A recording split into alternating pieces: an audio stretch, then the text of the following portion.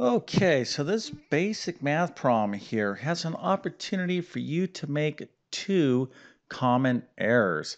Now, a lot of you might be saying, no, no problem, I can do this without the aid of a calculator. Well, that will be awesome. Matter of fact, go ahead and put your answer into the comment section. But uh, probably a lot of you are going to make at least one error, maybe even two. But uh, if you're able to do this problem correct, that is fantastic. I'll show you the right answer to this problem in just one second, and then I'll walk through the solution step by step.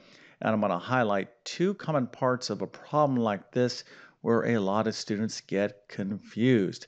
But uh, before we get started, let me quickly introduce myself. My name is John, and I have been teaching middle and high school math for decades. And it really is my true passion to try to make learning math as easy as possible. So if you need assistance in mathematics, check out my math help program at tcmathacademy.com. You can find a link to that in the description below. And if this video helps you out, don't forget to like and subscribe as that definitely helps me out. Okay, so just to be clear, let's go ahead and take a look at the problem. We have parentheses 1 minus 3 and parentheses squared divided by parentheses 3 minus 4 parentheses cubed times negative 1 squared. And again, we do not want to use our calculators. We just simply need to use that supercomputer located right here between your ears. That thing is so much better than any artificial intelligence out there. Matter of fact, that's actual intelligence, way better than AI. Okay, let's go to take a look at the answer. So the answer is 4. All right, so if you got 4, that is very, very awesome indeed. Matter of fact, let's go ahead and celebrate by giving you a nice little happy face in A plus a 100% and multiple stars so you can tell your friends and family that indeed you are a certified professional math expert in the area of order of operations and powers. So that's really kind of the main um, areas where students are going to make some mistakes. But no problem, if you got this uh, uh, problem incorrect, please do not panic. What you want to do, okay, when you're doing any math problem is to make sure you write each step nice, uh, neatly, and clearly, okay? Now, why would you want to do that? Well, so you can kind of analyze, as I explain the actual solution, what part of the process you don't understand, okay? Now, if you got this problem wrong, and your work is all sloppy, well, the reason why you got this problem wrong, the number one reason is because you're not showing your work properly. Okay, so a lot of you probably heard your math teacher say, hey, be neat, be clear.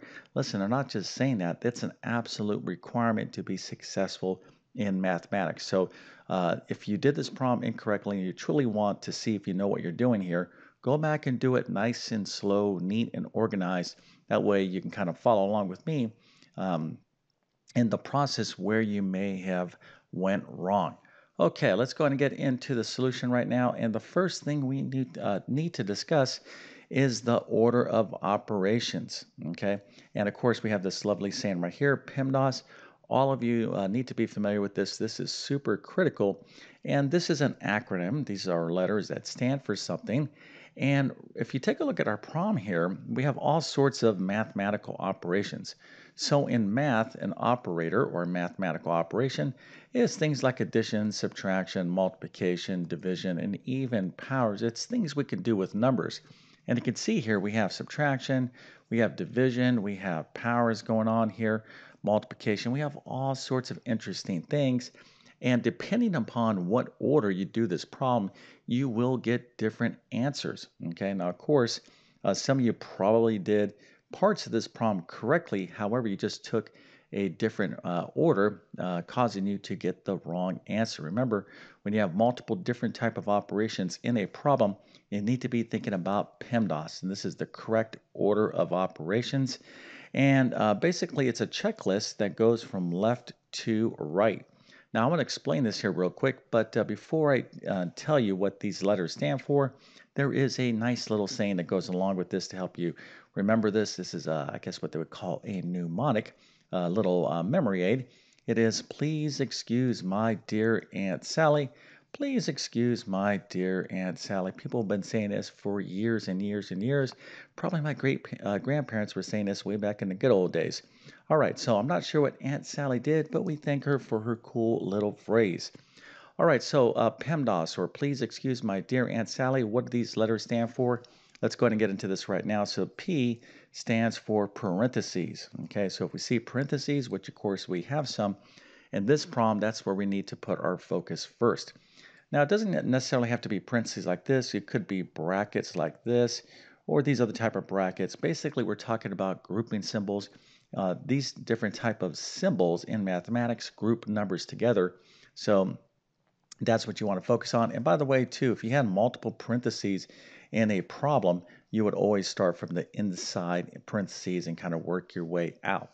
Now, this uh, P part of the PEMDAS basically it says, hey, uh, when you have parentheses or grouping symbols, you need to focus on doing all the methods inside that until you're done with that uh, part of the um, process. Okay, let's move on to E. Now, E stands for exponents, but you can think of this as any powers, which of course we are going to have uh, powers in this problem. Uh, just to be clear, if I have 2 to the third power, this little 3 up here is called the exponent part of the power. The 2 is called the base, and this entire thing is a power. Okay, so the, the little 3, the number up in the uh, right-hand corner, that's called the exponent, so that's what that E stands for, but you can think of it as powers. Okay, so the next thing that confuses a lot of students is the M and D and A and S. Matter of fact, before you explain this, let's just go ahead and tell you what these stand for. M is multiplication, D is division, A is addition, S is subtraction. Okay, so if you were thinking that's what it is, that's in fact what those uh, letters stand for. But Here's the deal, okay? It's not always multiplication, then division. That's not the way this checklist works. Now, it would, you know, logically, you would think that's the way it would work because we're going from left to right, but really these are groups, okay? So the way this works is actually is multiplication or division, whatever you see from left to right. So if we have multiplication, then division, we'll do it this way because multiplication is um, on the left. But if we have division, then multiplication, we do it this way because division is on the left. It's multiplication or division, and A and S is addition or subtraction. Again, whatever we see first from left to right. Now, at this point, some of you might be saying, oh, I know where I made a mistake. And if you're thinking that, oh, you know where you went wrong, you should pause the problem and see if you can come up with the right answer. Okay, so this is a, a really kind of the big part of our, you know, what we need to know to manage this problem.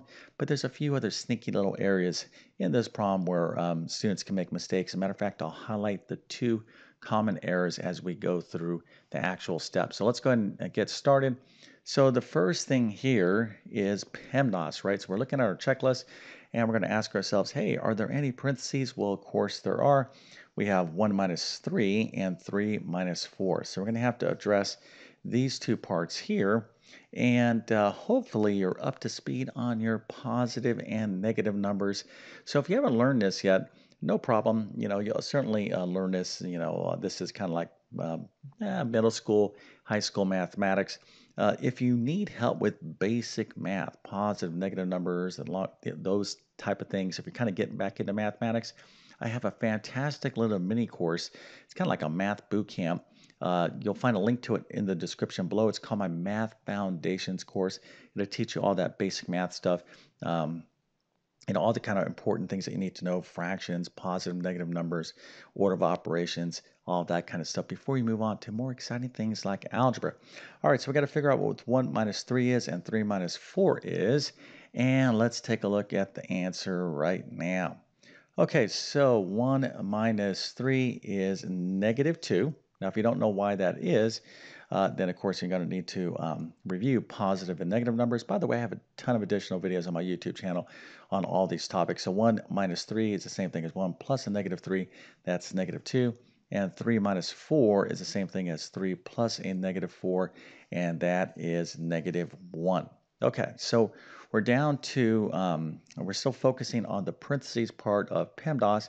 We took care of what was inside the parentheses, and although those there's parentheses, there's really nothing left to do inside of the parentheses. So effectively, this is our, um, our problem at this stage, and now we're ready to think about the next step. And that next step is going to be for you to subscribe to my YouTube channel so my facial expression could be very much like this. Matter of fact, I'll probably, my hair will stand up something like a 1985 mohawk haircut. I'm so happy I don't see those things anymore, but they were pretty cool back in the good old day. And not to judge anyone that likes to wear their hair that way. Uh, I didn't, but I was always like, wow, that's very impressive. But uh, listen, uh, you know, being on YouTube, you know, for me or any other person that uh, puts their content out there, when you subscribe, that's a huge vote of confidence and it helps, uh, you know, gr- to really grow your channel. Okay, for me, I'm trying to grow my channel so I can kind of grow my classroom. So if you don't mind, that would be awesome if you could subscribe and hit that notification button as well. If you are new to my channel, you'll find basic to advanced math. Uh, have over 2,000 plus videos from, you know, again, basic math like what we're doing here to advanced math like calculus and everything in between. And that content is for you. Okay, so if you're struggling in math, check out my content. If you want my full courses, uh, just see the links in the video. Okay, back to the problem. So now uh, we are uh, done with the P part, right? Because there's nothing more to do with parentheses. So let's just move over and keep working our checklist. So E is what? Well, this is exponents or powers. So we do, do we have powers here? Well, actually we have three power situations, right? So we have negative 2 squared, negative 1 cubed, and uh, negative 1 squared here. But this is negative 1. All the difference between these two, these are in parentheses. So here is kind of our first red flag where a lot of students are going to make a mistake. Not all of you, but a lot of you. So this is where a lot of common mistakes could occur. All right, so go ahead and tell me what the answers negative 2 squared is, negative 1 cubed is, and this negative 1 squared is. Let's go ahead and take a look at the answer right now, and I'll explain this common error here in just one second. Okay, here we go. So negative 2 squared means what? All right, well, notice that this negative 2 is in parentheses. So this expression means take this negative 2 and multiply it by itself. So negative 2 times negative 2, a negative times a negative is positive 4. Okay, that's what we have a positive 4 here. So what does negative 1 cubed mean? Well, again, this negative 1 is in parentheses, so we're the uh, exponent is acting upon this entire thing here. So this is negative 1 times itself three times. This is negative 1 cubed. So negative 1 times negative 1 is a positive 1. And a positive 1 times negative 1, positive times negative is negative. So negative 1 cubed is negative. Okay, now here is uh, where I would say, or is our first real opportunity to make a common error. So this is negative 1 squared right here. We need to figure this out. And the answer is negative 1. Now, some of you might be like, what are you talking about, Mr. YouTube Math Man? Uh, that should be a positive 1 because that's negative 1 times negative 1. You're wrong. No, no, no. Uh, let me explain what's going on here. Again, a very common misunderstanding. An expression like this, negative 1 squared, this technically means the opposite of a positive 1 squared. Okay? Again, this negative 1 is not in parentheses. We're not squaring the negative 1. We are squaring the positive 1 right here. Okay, this is, you know, this is basically the order of operations right here. So we're doing exponents before multiplication. Okay, so really this is like a negative 1 times a 1 squared. Very common mistake. So if this is kind of confusing, um, you know, you're definitely not alone, but we need to kind of make sure you understand us, right? So this is the opposite of a positive 1 squared, which is a negative 1. Okay, so this is probably the first common error. And now we are down to this problem right here. So we got 4 divided by negative 1 times negative 1.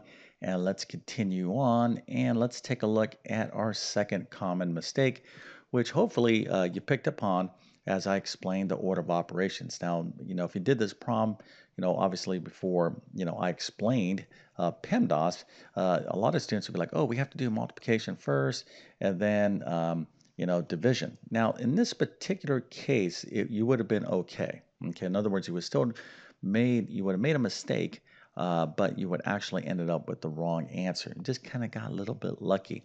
So M and D is multiplication or division. So we need to do the division first, okay? Because that's what we see first from left to right. Now, if I did the multiplication, I'm like, well, it works out the same way. Negative times negative one, negative one times negative one is positive. 4 divided by positive 1, it works out, but we just got a little bit lucky in this particular problem. And that can happen in math, but we want to do this the right way so we uh, you know, don't have to rely on luck. All right, so 4 divided by negative 1, we have a positive being divided by a negative. Of course, the answer is going to be negative, all right? And again, if you're confused with this positive negative number, know, working with integers and and uh, real numbers, this is a huge part of um, basic mathematics. And again, just you know, identify what you don't know, okay, and just work on it. Math, math, learning math is nothing more than a series of skills, and all of these things, believe me, you can all uh, learn. Right? You can never don't never tell yourself, oh, no, that's too confusing. You can learn it. You just need great instruction, clear and understandable instruction. Then you got to put in the effort. All right, so 4 divided by negative 1, that is going to be a negative 4. And now we're down to this uh, last multiplication problem. Negative 4 times negative 1. Negative times negative is a positive, positive 4. Again, we could have gotten a little lucky here by doing the uh, operation in um, the wrong order, and that can happen from time to time. But you don't want to be overconfident, be like, ah, I got it right anyways. Well, you know, if I changed the numbers here, you would have gotten it wrong. Okay. Anyways, great job. Uh, even if you didn't understand this, if you identified where you need to, um, you know, work on, or like it's like, oh, I I see what I did wrong. That's success, right? You don't have to be. You're not going to get every single math problem right. I don't get uh, math problems right, and that's all relative. Okay. What you want to focus on is the process of learning math, which is you know, writing out all your steps nice and neat and clear, and then looking at your work and figuring out, hey, where is the problem? Oh, this is the problem right here. So this is what I need to correct. And then all of this now becomes correct. Okay.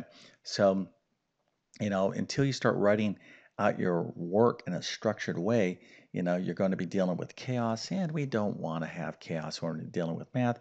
We have enough things to be thinking about.